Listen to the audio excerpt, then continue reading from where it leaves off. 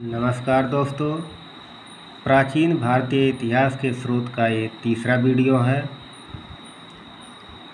आज हम जानेंगे विदेशी यात्रियों से मिलने वाली प्रमुख जानकारी।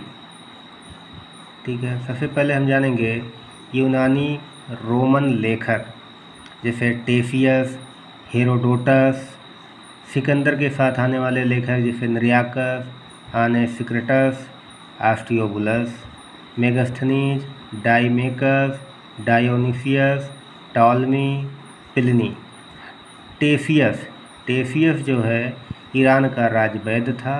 भारत के संबंध में इसका विवरण आश्चर्यजनक कहानियों से परिपूर्ण होने के कारण अविश्वसनीय है। हेरोडोटस इतिहास का पिता कहा जाता है। इसने अपनी पुस्तक हिस्टोरिका में पाँचवीं शताब्दी ईसा पूर्व के भारत फारस अर्थात ईरान के संबंध का वर्णन किया है, परंतु इसका विवरण भी अनुश्रुतियों एवं अफवाहों पर आधारित है। सिकंदर के साथ आने वाले लेखकों में नरियाकस आने सिक्रेटस तथा आस्टियोबुलस के विवरण अधिक प्रामाणिक एवं विश्वसनीय है। बात करते हैं मेगास्थनीज की तो यह सेल्कस निकेटर का राजदूत था, जो चंद्रगुप्त मौर्य के राज दरबार में आया था। इसने अपनी पुस्तक इंडिका में मौर्य युगीन समाज एवं संस्कृति के विषय में लिखा है। टाइमेकस की बात करें तो यह सीरियन नरेश आंतियोकस का राजदूत था, जो बिंदुसार के राज दरबार में आया था। इसका विवरण भी मौर्य युग से संबंधित है। डायोनीसियस की बात करें तो यह मिस्र नरेश टालमी फिलेडेल्फस का राजदूत था, जो अशोक के राज दरबार में आया था। तो मैगिस्थनीज किस राज दरबार में आया था, चंद्रगुप्त मौर्य के राज दरबार में। डाइमेकस बिंदुसार के दरबार में आया था।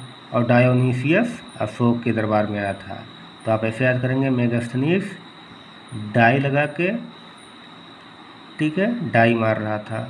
यानी Megasthenes Deimachus Dionysius Dionysius Megasthenes Deimachus Dionysius ठीक है।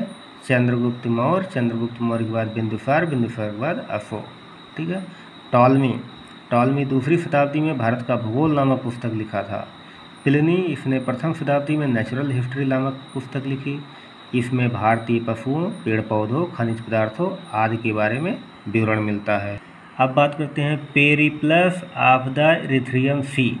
यह एक पुस्तक है, इसके लेखक के बारे में कोई जानकारी नहीं है। यह लेखक करीब 80 ईस्वी में हिंद महासागर की यात्रा पर आया था, ऐसा माना जाता है, ऐसा अनुमान लगाया जाता है। इसने उस समय के भारत के बंदरगाहों तथा व्यापारिक वस्तुओं के बारे में जानकारी दी थी। बात करते हैं चीनी लेखक लेखक की।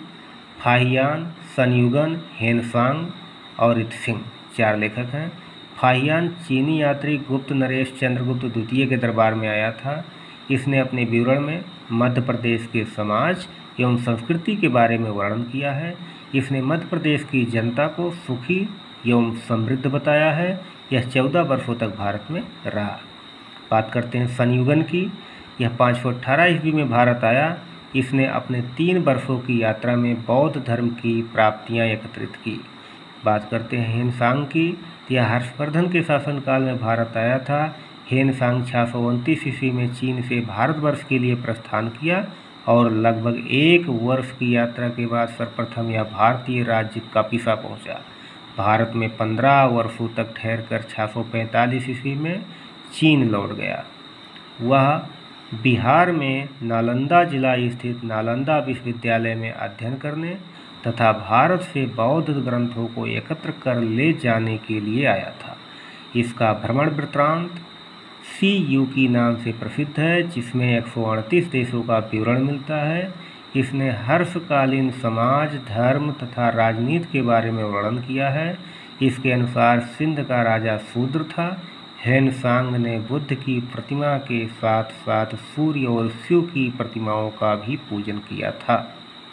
हेनसांग के अध्ययन के समय नालंदा विश्वविद्यालय के कुलपति कौन थे? आचार्य शीलभद्र थे। यह विश्वविद्यालय बौद्ध दर्शन के लिए प्रसिद्ध था। बात करते हैं इत सिंह की। यह सातवीं शताब्दी के अंत में भारत आया। इसने अपने विवरण में नालंदा विश्वविद्यालय, विक्रमशिला विश्वविद्यालय तथा अपने समय के भारत का वर्णन किया है। अब बात करते हैं अरबी लेखक अल बरुनी यह महमूद गजनवी के साथ भारत आया था। अरबी में लिखी गई उसकी कृति किताब उल हिंद या तहकीक हिंद भारत की खोज आज भी इतिहासकारों के लिए एक महत्वपूर्ण स्रोत है। यह एक विस्तृत ग्रंथ है जो धर्म और दर्शन त्योहारों, खगोल विज्ञान, कीमिया रीति रिवाजों तथा प्रथाओं, सामाजिक जीवन, भार तौल तथा मापन विधियों मूर्तिकला कानून, मापमंत्र विज्ञान आदि विषयों के आधार पर अस्सी अध्यायों में विभाजित है। इसमें राजपूत कालीन समाज, धर्म रीति रिवाज राजनीति आदि पर सुंदर प्रकाश डाला गया है। इबन बतूता की बात करते हैं, जो कि एक अरबी लेखक है। इसके द्वारा अरबी भाषा में लिखा गया उसका यात्रा वृत्तांत जिसे रिहला कहा जाता है, चौदहवीं शताब्दी में भारतीय उपमहाद्वीप के सामाजिक तथा सांस्कृतिक जीवन के विषय में बहुत ही प्रचुर तथा सबसे रोचक जानकारियाँ देता है। तेरह सौ तैंतीस ईस्वी में दिल्ली पहुँचने पर इसकी विद्वता से प्रभावित होकर सुल्तान मुहम्मद बिन तुगलक एम ने उसे दिल्ली का काजी अर्थात न्यायाधीश नियुक्त किया था। अन्य लेखकों की बात करें तो अन्य लेखकों में तारानाथ आते हैं। ये एक तिब्बती लेखक थे। इसने कंगयूर तथा तंगयूर नामक ग्रंथ की रचना की। इनसे भारतीय इतिहास के बारे में जानकारी मिलती है। ठीक है? मार्को पोलो के बारे में बात करते हैं। यह तेरहवीं शताब्दी के अंत में पांड्य देश की यात्रा पर आया था। इसका विवरण पांड इतिहास के अध्ययन के लिए उपयोगी है।